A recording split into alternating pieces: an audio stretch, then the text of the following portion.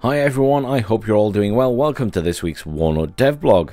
So, I'm going to warn everyone in advance, it looks like this is one of these filler episodes with a variety of updates. They actually say it's a bunch of smaller updates, but one of them sounds like a very big thing a veterancy rework.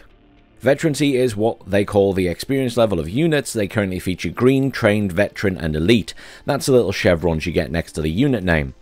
Higher experience levels decrease aiming time, for instance, improving the unit's ability to withstand suppression, things like that.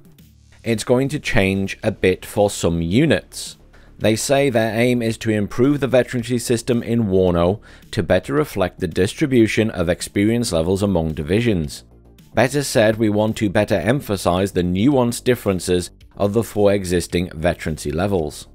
Our objective, they say, is to make elite units rarer, but give them a real edge in the game. To make this work, we will update how the veterancy system works, including how many units you can find at each experience level. Interestingly enough, green units are relatively rare. They monopolize a very specific veterancy level, just for them, aka second rate units and reservists, which don't usually fit into our vision. That's why we will introduce the new militia trait to characterize these inexperienced units better. This means that all of Warno's units will have their experience distributed between green and veteran. Only a few select specialized units will be deployed with the new highest veterancy, elite.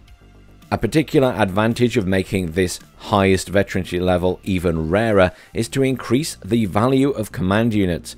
They will be much more relevant as they will boost more veteran units to elite status.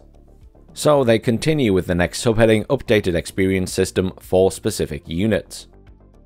We are tinkering a bit more with how experience works. We are keeping the current veterancy system in place but will update it for a specific set of units. Some unit categories will remain the same infantry, tanks, recon, anti air, and helicopters.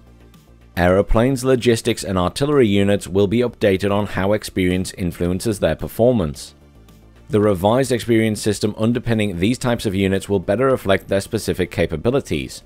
For instance, the new veterancy levels for command units let them take control of command zones faster, or with logistical supply units increase the rate at which they can repair or resupply. The area of effect will also be improved. In the case of artillery units, the updated veterancy bonus will reduce the unit's aim and reloading times, and for planes they will gain improved flight abilities with the updated veterancy system. The next subheading is new traits, so they've been developing two new traits which will come to Warno soon. The first is the Jammer trait. This will affect enemy radar recon, drastically reducing their efficiency within the area of effect.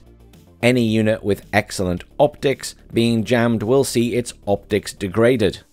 This trait will be supported by dedicated recon helicopters such as the American EH-60A Quick Fix 2 and the Soviet Mi-8 PPA. These new units will be introduced in Warno as soon as their in-game models are finished. Next up is the False Flag trait.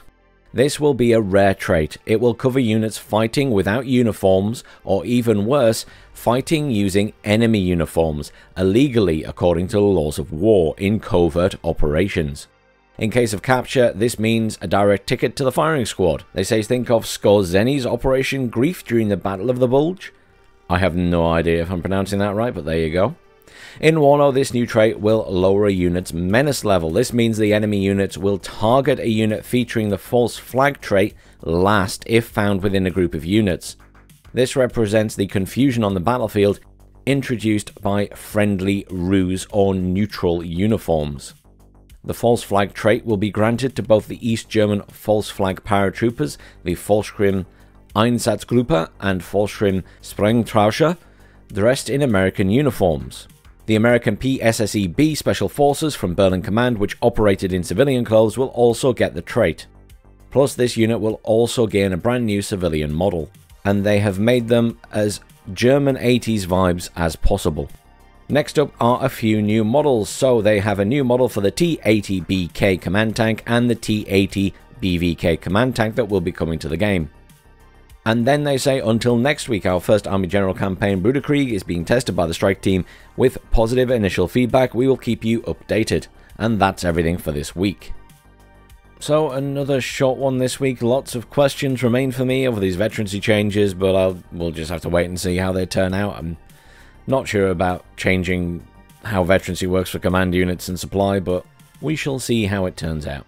Thanks again for watching, and I'll see you all soon.